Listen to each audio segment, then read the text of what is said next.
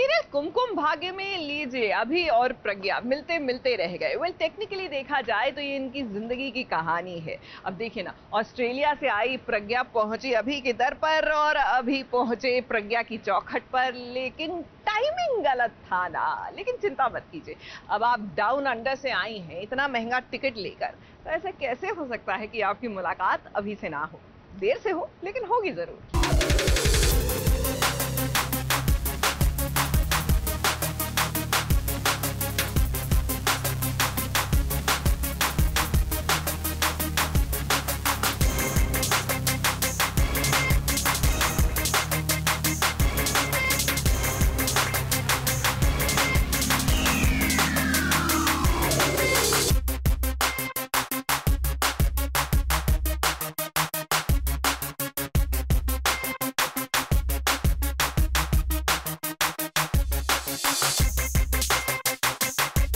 कि जिसका कनेक्शन दिल से दिल तक होता है और जिसके भाग्य में जिसका साथ लिखा होता है, भला वो कब तक अपने भाग्य से दूर रह पाता है?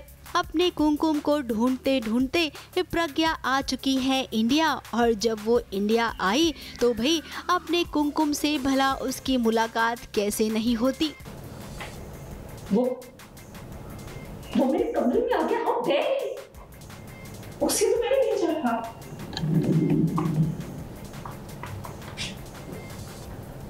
आपने लेकिन क्यों?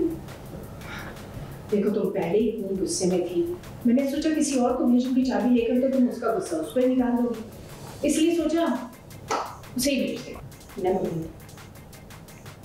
नेक्स्ट टाइम मिलने दीजिए। फिर उसे तमीज से खाना बहुत ज़रूरी है। मैं माफ़ करता हूँ उसके प्रज्ञा है तो हम लोग उसे रानी होगा रानी? नहीं नहीं बड़ी रानी ने प्रज्ञा नहीं बात पत्नी तुम्हारी मैडम से कहना कि वो ठंडे पानी से नहाया मैं बहुत गर्म रहता हूँ की ज़रूरत थी शो को एक एक नए अंदाज में फिर से आने आने के लिए। तो उस वजह से हमने पूरे शो को जो है, वो रीबूट किया है। सारे कैरेक्टर्स अब एक नए अंदाज में आ रहे हैं। बहुत अच्छा लग रहा है सबको देखकर, बहुत डिफरेंट है और सब लोग बहुत बहुत एंटरटेनिंग लग रहे हैं। पूरी तरीके से, क्योंकि सब कुछ बदल गया है। हाल चाल ढाल, बोल दिखने, बोलने का तरीका, लहजा। सो अच्छा लग रहा है होगी होगी। प्रज्ञा की अभी से ज़रूर मुलाकात होगी, लेकिन उससे पहले अभी के परिवार से मिली प्रज्ञा। जी हाँ इस सीन को देखिए, जहाँ पर दादी अभी को ये बताने ही वाली होती है कि प्रज्ञा आई थी यहाँ पर।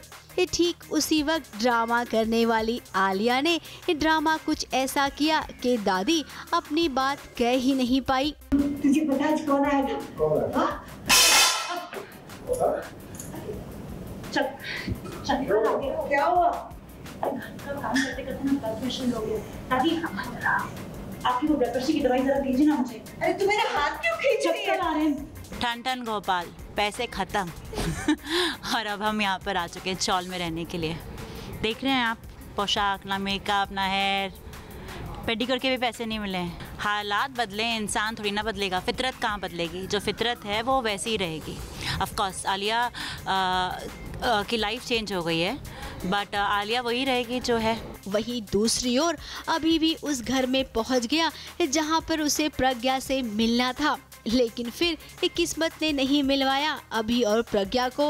अब देखिए, प्रज्ञा आई थी अभी से मिलने के लिए उसके घर। तो वहीं अभी भी पहुँच गया था प्रज्ञा के घर।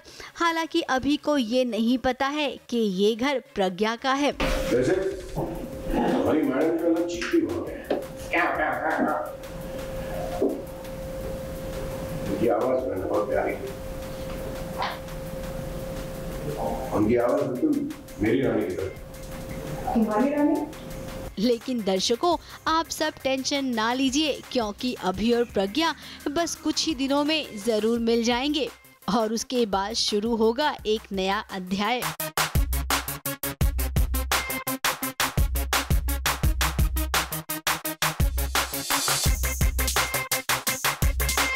मुंबई से रोजेला फर्नांडिस के साथ ABP news report